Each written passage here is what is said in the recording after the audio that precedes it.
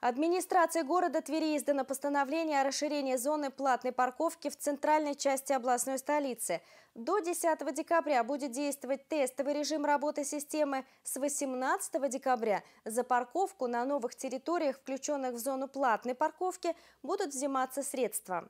Цена на услугу останется прежней – 30 рублей в час.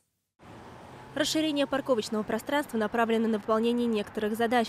Повысить пропускную способность улично-дорожной сети, упорядочить парковку на наиболее востребованных участках. Система оплаты парковочного места, а также все льготы для резидентов, многодетных семей, инвалидов, участников Великой Отечественной войны и узников концлагерей остаются.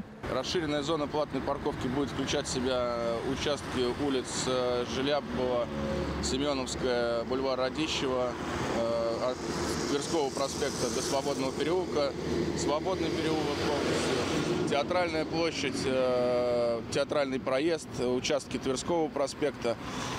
В основном здесь э, более загруженные участки – это Свободный переулок, Театральная площадь, Тверской проспект э, и бульвар Радищева.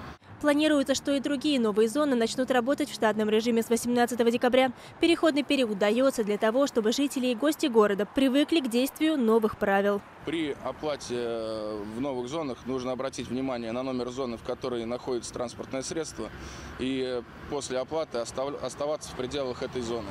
При переезде в другую зону нужно, соответственно, будет оплачивать время э, той э, зоны, в которую вы переехали. В 2020 году при наличии финансирования рассматривается возможность ввода в эксплуатацию еще одной зоны платного парковочного пространства в границах улиц от набережной Степана Разина до улицы Крылова и от Тверского проспекта до Смоленского переулка.